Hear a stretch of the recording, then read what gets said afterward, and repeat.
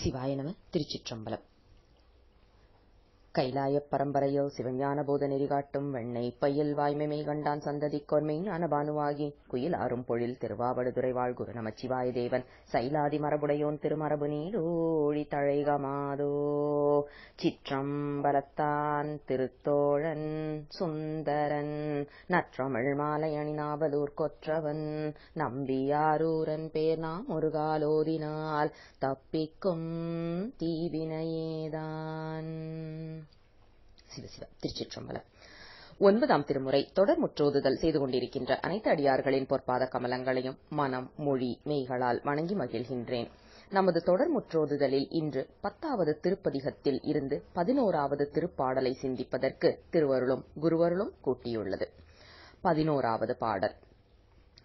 கித்தி நின்றாடும் அறிவையர் தெருவில் கெழுவுகம்பலை செய்கீழ் கோட்டூர் மத்தனை மணி அம்பலத்துள் நின்றாடும் மைந்தனை. ஆரணம் பிதற்றும் பித்தனேன். மொழிந்த மணி நெடு மாலை பெரியவர்க்கு அகல் இரு விசும்பின். முத்தியாம் என்றே உலகம் ஏத்துவரேல் முகம் மலர்ந்து எதிர்கொள்ளும் திருவே. இன்றைய பாடல் அதாவது இறுதியாக அமைந்திருக்கின்ற பதினொன்றாவது பாடல் நமக்கு திருக்கடைக்காப்பாகவே அமைந்திருக்கின்றது. இந்த பதினோரு பாடல்களையும் மேல் சொன்ன பத்தும் அதோடு சேர்த்து இதையும் சேர்த்து பதினோரு பாடல்களையும் சேர்த்து புகழ்ந்து பாடுபவர்களுக்கு திருமகள் என்றுமே கூடவே இருப்பாள் அப்படிங்கிற குறிப்பை மிக அழகாக எடுத்து சொல்கின்றார் ஆசிரியர். அதாவது நாம இன்னைக்கு வந்து பதிகங்கள் வந்து படிச்சாக்க வந்து பணம் கிடைக்காது கல்வி கிடைக்காது ஆனா வந்து முக்திக்கு மட்டும்தான் சிவபெருமான் அப்படின்னு ஒரு மயக்க நிலையில நாம நிறைய பேர் இருக்கிறோம். இன்னும் சில பேர் வந்துட்டு சிவபெருமானுடைய பேரை சொன்னாலே வந்து பயப்படுவாங்க. இன்னும் சில பேர் வந்து வீட்டுல நடராஜரை வைக்கிறதுக்கு அவ்வளவு மிரளுவாங்க. ஐயோ வீட்டுல எல்லாம் நடராஜர் வைக்க கூடாதாமேங்க ஆடி போயிருமாமேங்க வீடு அப்படின்னு சொல்லிட்டு. ஒண்ணு ஞாபகம் இருக்கணும்.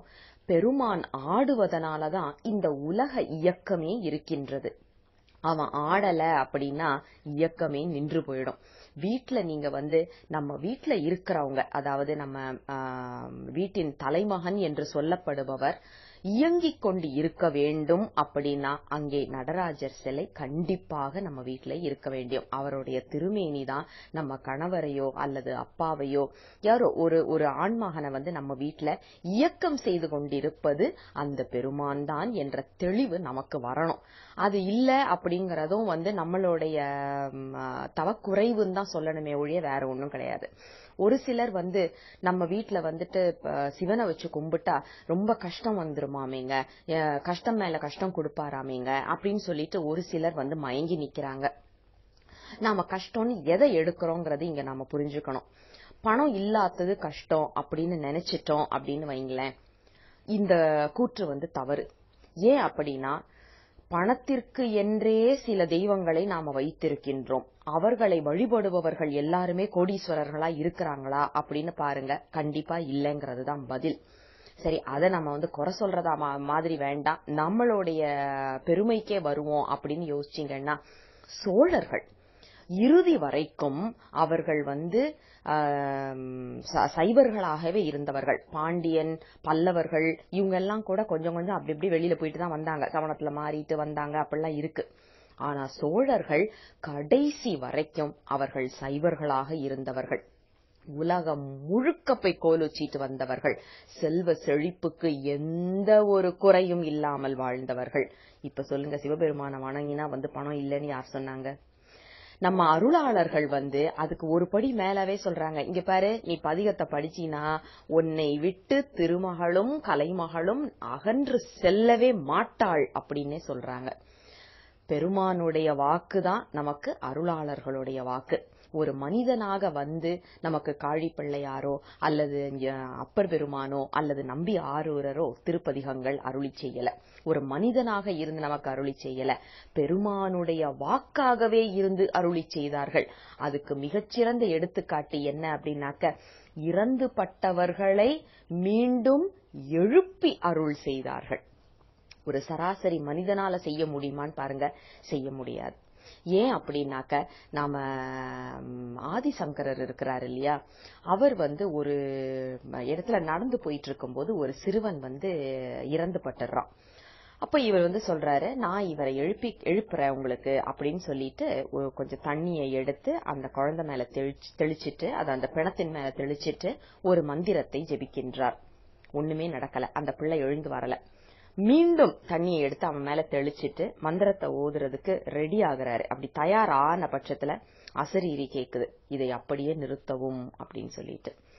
தன்முனைப்பினால் செய்யும் போது எதையுமே செய்ய முடியாதுங்கிறதுக்கு இதை விட எடுத்துக்காட்டு நம்மளுக்கு வேற எதுவுமே வேண்டாம். ஏன்னா இன்னைக்கு ஆதிசங்கரரை நாம எப்படி கொண்டாடுறோம்? சில சில இடங்கள்ல வந்து எப்படி கொண்டாடுறாங்கிறது உங்களுக்கு நல்லாவே தெரியும். அப்கோர்ஸ் சைவர்களுக்கு வந்து அஹ், சித்தாந்த சைவர்களுக்கு வந்து அதுல உடன்பாடு கிடையாது. அப்படின்னாலும் அவரை எப்படி கொண்டாடுவார்கள் என்று நமக்கு எல்லாம் தெரியும்.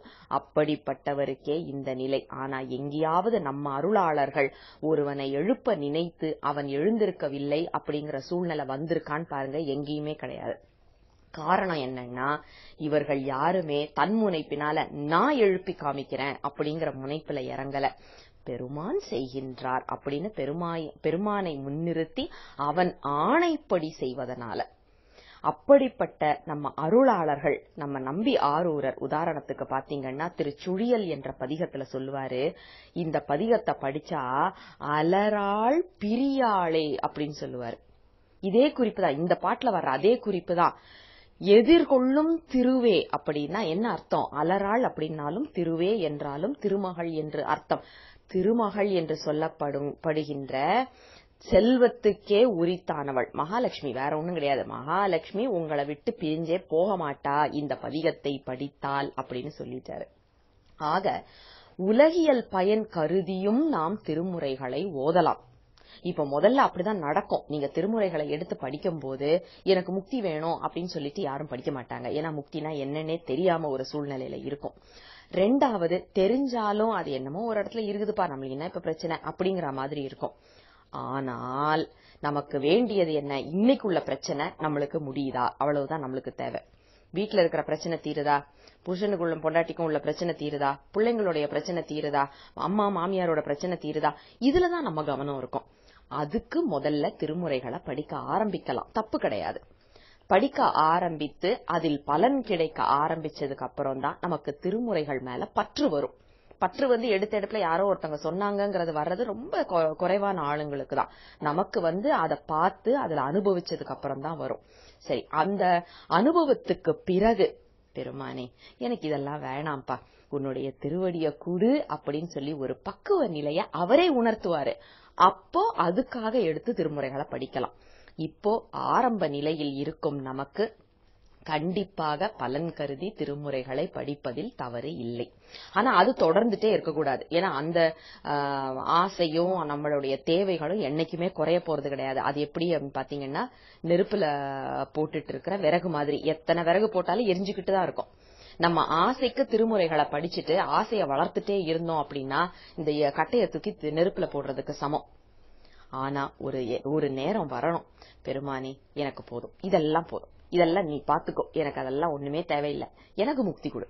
அப்படிங்கிற அந்த பக்குவ நிலை வந்ததுக்கு அப்புறம் நீங்க திருமுறைகளை மீண்டும் எடுத்து படிச்சு முக்தி குடு என்று கேட்கும் போது அதையும் கொடுப்பான் பெருமான்.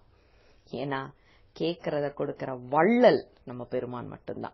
வள்ளல்னு இன்னைக்கு நாம யார யாரையோ சொல்றோம். ஆனா உண்மையான வள்ளல் யாரு அப்படின்னா அதுக்கு சிவபெருமான் மட்டும்தான். ஏன் தெரியுமா? இந்த உடலுக்கு மட்டும் கிடையாது. எத்தனை பிறவிகள் எடுத்து வந்தாலும் வாரி வாரி கொடுத்திருக்கின்றான். யாருமே அதுல சந்தேகப்பட முடியாது. அப்படிப்பட்ட சிவபெருமான் நமக்கு திருவையும் கொடுத்து அருள் செய்வான். எப்போது தெரியுமா? அப்படின்னு இந்த பதிக இந்த பாடல்ல இறுதி பாடல்ல நமக்கு ஆசிரியர் சொல்லுகின்றார். அதாவது கித்தி நின்றாடும் அறிவையர் தெருவில் கொழுவு கம்பலை செய் கீழ் கோட்டூர். பெண்கள் எல்லாம் ஆடி பாடி விளையாடிக் கொண்டிருக்கின்ற கீழ்கோட்டூர் என்ற திருத்தலத்தில் இருக்கின்ற எமது பெருமான். எப்படிப்பட்ட பெருமான் தெரியுமா? மத்தனை. இந்த மத்தனை அப்படிங்கிறதுக்கு ஊமத்தை மலரை சூடியவன் அப்படிங்கிற ஒரு பொருள் இருந்தாலும் அதிகமான ஆர்வம் மிக்கவன் அப்படிங்கிற ஒரு குறிப்பும் இருக்கு. என்ன ஆர்வம் இருக்கு அப்படின்னா நாம பெருமானை நோக்கி அவன் இருக்கிறான் அப்படிங்கறதை உணர்ந்து அவனுக்கு விண்ணப்பமாக நம்ம வைக்கும்போது ஐயோ என் பிள்ளை என்ன பாத்துட்டான்யா அப்படின்னு சொல்லிட்டு ஒரு அப்பா அம்மாவுக்கு ஒரு பெருமை வரும் தெரியுமா? நாம வந்து அம்மா அப்பாவை வந்து எப்பவுமே திட்டிக்கிட்டே இருக்கிறோம். என்ன அவங்க ஒரு பெரிய லொல்லு அப்படி இப்படின்னு சொல்றோம் நாம. ஒரு நிலையில வந்து எனக்காக எங்க அம்மா எவ்வளவு பண்ணிருக்காங்க எனக்காக எங்க அப்பா எவ்வளவு பண்ணிருக்காங்க அப்படின்னு நாம அந்த உணர ஆரம்பிச்ச நேரம் நம்ம அம்மா அப்பா கண்ணுல நம்மள அறியாம அவங்களையும் அறியாம ஒரு சொட்டு கண்ணீர் வரும். என் பிள்ளை நான் இருக்கிற நான் செய்ததை உணர்ந்துட்டான். எனக்கு இது போதும். அப்படின்னு சொல்லி வரும் இல்லையா? அதே உணர்வு தான் ஆர்வம் மிகுதியில் உடையவன் நம் பெருமானோ. ஏன் அப்படின்னா இத்தனை நாள் ஏதோ ஒரு மறைப்புல இருந்த என் பிள்ளை இன்னைக்கு என்ன திரும்பி பார்த்து சிவசிவான்னு சொல்ல ஆரம்பிச்சிட்டான் அப்படிங்கிற ஒரு குஷி. ஏன்னா பெருமானுக்கு ஒரே ஒரு ஆசை தான் நாம எல்லாம் முக்தி அடையணுங்கிற ஆசைதான். அது உண்மையா சொல்ல போனா அதுதாங்க பேராசை.